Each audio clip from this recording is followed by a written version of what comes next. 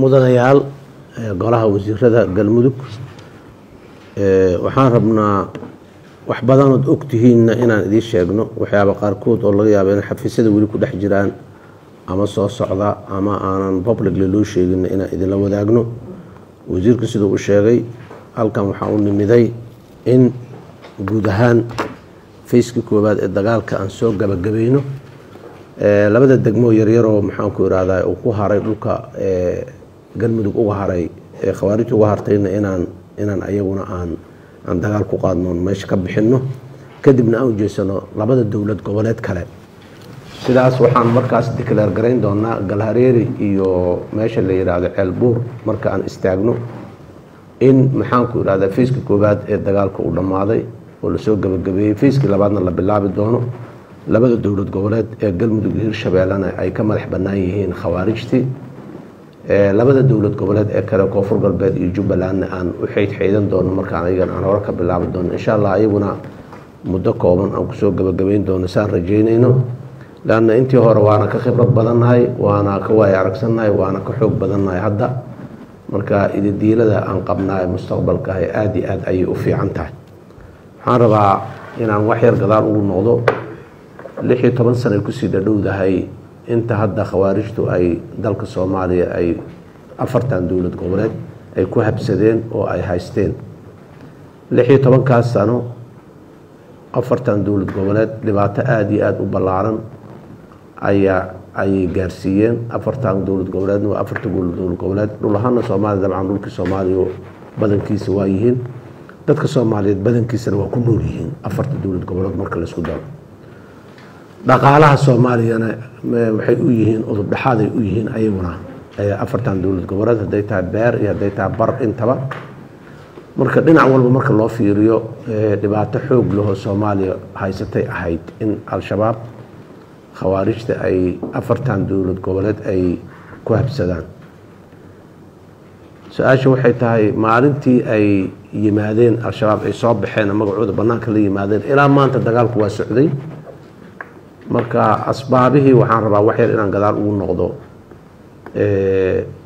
dagaalku lix iyo toban sano oo nagu soo gaaray maantana aan rajada badan aan u qabno. Marka koowaad waaye sannadkii taaramkii horen aniga madaxweynaha ahaay laba kun labaiyo toban laba kun toddobiyo toban. Sidaan oo kale dagaalka al-shabaab waa waa naga go-nayd waana qaadnay waxaan taargadgaraynay degmooyinka inaan ka xoreyno aan dhulka bixino. Degmooyin badan oo sodomeeye ah ayaan berigaas shabaab yaan ka bixinay.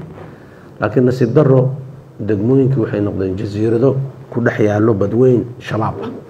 Dhexdeed jasiirad ku taalay noqotay waa cunaqabateeyeen dadkii dhibeen. Degmooyin badan oo almost hadda waxay ku dhadhow yihiin inay tirtirmaanba oo dadkii waa nolosha adkaata awgeed looga guuray iyo abaaraha iyo maxaanku irahday cimilada isbedeshay oo isbiirsaday ayaa degmooyinka qaarkood waxay hadda ku dhow yihiin in ay baaba-aan. Sababta kale oo ugu weyn oo dagaalka al-shabaab loo dhaqaaji waayey waxay ahayday siyaasad dowlad soomaaliyeed ay leedahay oo lagula dagaalamayo al-shabaab oo aada u qeexanoo cad ma jirin. Sidaas daraaddeed soomaalidu waxay ku jirtay meeshii ili ka dhaca carabka ayaa buuxiya. Meeshii haddii annaga aan siyaasad aan cad oon leenahay aan la imaan weynay waana dadka waana loola yimid marka. Ilan shabaab annaga bes khatar laguma aha gobolkay khatar ku yihiin caalamkay khatar ku yihiin ajandaha ay leeyihiin ajanda local oo soomaali ku kooban maaha ajanda caalami ah ayay leeyihiin oo waxay qabaan caalamka o dhan in maxaanku irahda tallaab laga qaado. Sidaas daraaddeed laba siyaasadood oo mid isku ah ayaa ayaa naloo gaaray. Saaxiibada dadka naga naxayo noo turaayo jecel ina shabaab la diriraan ayaa qaatay qaraar siyaasadahaasay gaareen siyaasadahaas mid waxaa la yidhaha containment policy ama shabaab ha lagu celiyo soomaaliya yuuna ka soo bixin.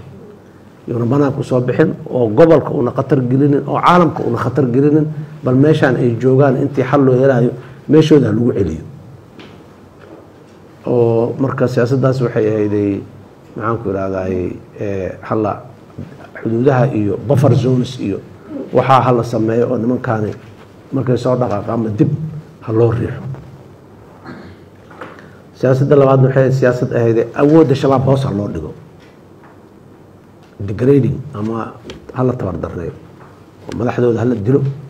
Maxaanku idhahdaa dugsiyada ay wax ku tababartaan marmarka qaarkood hala weeraro cunaqabatayna lagu soo rogo si ayna awood ugu helin inay afkaartan qalloocan oo dhibka badan ay wataan inay dhoofiyaan oo ay dibadda u qaadaan ayna ugu helin muxuu ahay fursad. Labadaas siyaasadood ayaa shaqay jirta marka.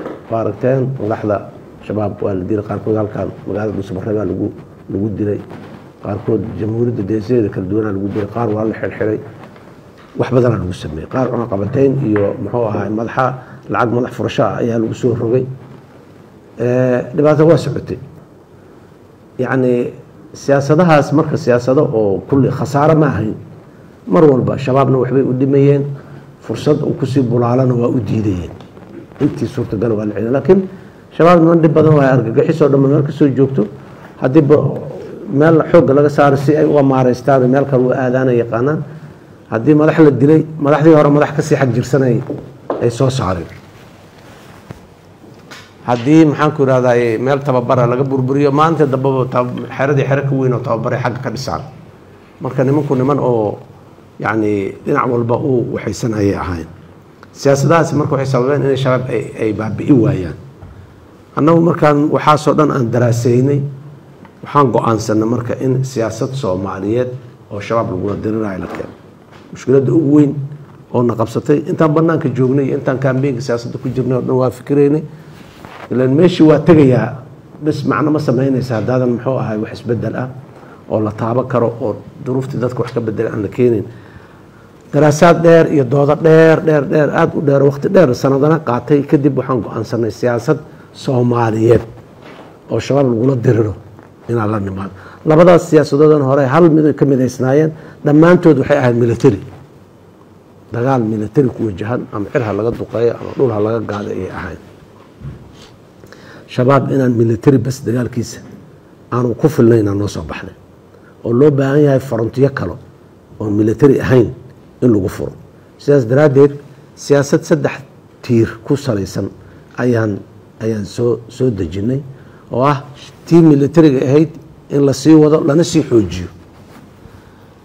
In shabaab waa waa organisation ama urur ku salaysan caqiido.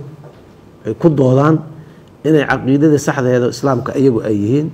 Dadkan muslimiinta soomaalida soomaalida waa hal qowmiyad waa waa wada ogtihin waa soomaali. Isku af isku diin isku dhaqan isku cid wax walba ka midaysan. Waxay yidhahdeen halka wax oo soomaalida dhan ay ka siman tahay oo switchki laga daminayo lagana daarayo noqon karaa diinta islaamka waay diintay naga soo gala macnaa macnaheeda marka taas maaha inay diin wadaan ma ah laakiin siyaasad ahaanay u arkeen dadkan meesha ay ka nugul yihiin oo laga kici karo oo laga dami karo meeshaas waay ka gala. Diinta sidaasay ugu soo gabadeen nimanku niman diin wada ma ahayn. Sidaas daraaddeed diintana annagaa iska leh oo ayaga ka badan oo ka asalsan oo muxuu ahay diintii saxa ahayd iyo caqiidadii saxa ahayd ku taagan. Marka xoogaha waxay nagu noqotay meeshaas meel oo cidlo ah. Marka inaan kula dagaalano oo shacabka soomaaliyeed si kasta oo lagu tusi karo lagu fahamsiin karo nimankan waxay wadaan inaanay diin ahayn in laga shaqeeyo oo dagaal fikri ah lala galo. Waxay ahayday tiirka labaad. Tiirka saddexaad waxay nimankan inta badan berigii hore hadday heli jiray waayaha dambe lacag ma helaan leanna alqaacidadii banaankaa la daciifiyey waa la ad adkeeyey wixii banaanka lacaga badan uguma iman karaan gudahay lacagaha ka qaataan. Dhaqaalaha gudaha ay ka qaadanayaan in lagula dagaalamo ayadana laga hor istaago sidaas daraaddeed saddexdaas siyaasad saddexdaas tiir ku taagan ayaan la nimiday. Saddexdiibana waa wada qaadnay. Ha sii kala horeeyaano hakala hakala guulahooda ha kala weynaadaan laakiin saddexdaba waa noo shaqeeyaan taariikhda lixdanka sano oo aan dowladda ahayn lixdan iyo saddex sano dowlad ahayn markii ugu horreysay ayaa shir culimada soomaaliyeed oo dhan isugu timaadaan qaban culimada waa ogtihiin dhexdooda khilaafaadka ka jira iyo koox kooxaysiga ka jira. Marka waa u baaqnay waa u yeernay dal iyo dibad hadduu suufi ahay iyo hadduu salafi ahay iyo hadduu ikhwaan ahay iyo hadduu wax kale ahaaba. Dadka rumuusta oo la yaqaano oo magaca diinta loo yaqaano inaan isugu yeerno. Saddex boqol iyo shan ka mida culimadaas ayaan isugu yeernay dal iyo dibad iyo jamhuuriyadda gobolladoo dhan dowlad goboleedoo dhan ka yimiday. Shan maalmood ay xamar ku shiriyeen waad aragteen shantaas maalmood doodahooda iyo maxaanku irahdaye ra'iisul wadaarshkooda life ee telefishinada dhan ummadda soomaaliyed ka daawanaysay markii dambena iftadii caamka ahayd oo ayagoo wada jiro inay dhahaan shabaab waxay wadaan diin ma aha diintana lukuma laha. Sideedaba shacab ummad hadday go'aan gaarto wax kastay samayn kartaa oo ka maqan waa heli kartaa. Annaga inaan go'aan gaarno cabsida kala aaminbaxa isxagalgaadka maxaanku irahdaa hoos iska fiirinta ka gabashada ku dhicid la'aanta waxaanoo dhan waxyaabaha dabarka lagu ahoo lugaha naga haysta waay shabaab inaan iska xoreyno annagay nagu xiran tahay waa caddaynay haddana waa u taagannahay waana iska xoreynaynaa dalkeenna nama gabin. Allana nama gabin. Annagu yaynaan isgabin aad iyo aadaa umahadsantihiin wasalaamu calaykum